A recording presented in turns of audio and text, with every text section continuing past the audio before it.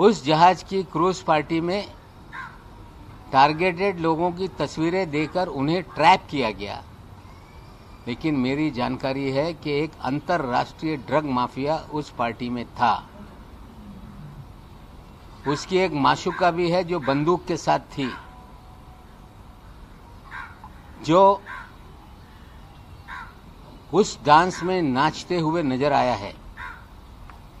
वो दाढ़ी वाला है। वो दाढ़ी वाला कौन है, सारे एनसीबी के लोग जानते हैं। कुछ मुझे लोग जानकारी दे रहे हैं, कभी वो तिहाड़ जेल में भी था। कुछ लोग मुझे जानकारी दे रहे हैं कि वो राजस्थान की जेल में भी था। ये दाढ़ी वाला कौन है एनसीबी उसकी तरफ़ भी ध्यान दे। अंतर्राष्ट्रीय ड्रग माफिया क्रूज पे है।